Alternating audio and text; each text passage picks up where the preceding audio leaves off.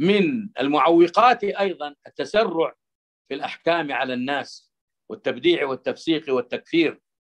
الآن بعض طلاب العلم الصغار يخوضون في أمور لا يحسنونها وربما بدع بعضهم بعضا.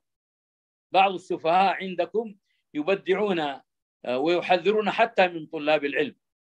قبل أيام أحد السفهاء عندكم يحذر من دروس الشيخ الدكتور سليمان الرحيلي. وهذا سفيه لا يسمع له. لا يسمع له.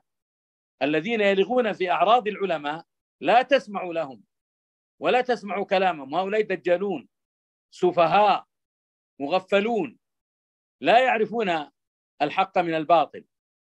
حتى إنهم لا ي... لو سألت بعضهم عن أركان الإسلام لا يعرفها. ولو سألت بعضهم عن أركان آه، أركان الصلاة لا يعرفها. لو سألت بعضهم كيف يتوضأ ربما إنه لا يحسن الوضوء. ومع هذا يتجرأ يبدع فلانا ويفسق فلانا ويكفر فلانا ويحذر من درس فلان ويقال فلان فيه وفيه وفلان فيه وفيه. وصل الأمر حتى إلى العلماء الاجلاء وإلى طلاب العلم الأفاضل. فعلينا أن نبتعد عن هذه العادة الخطيرة جدا. رحم الله امرأ عرف قدر نفسه.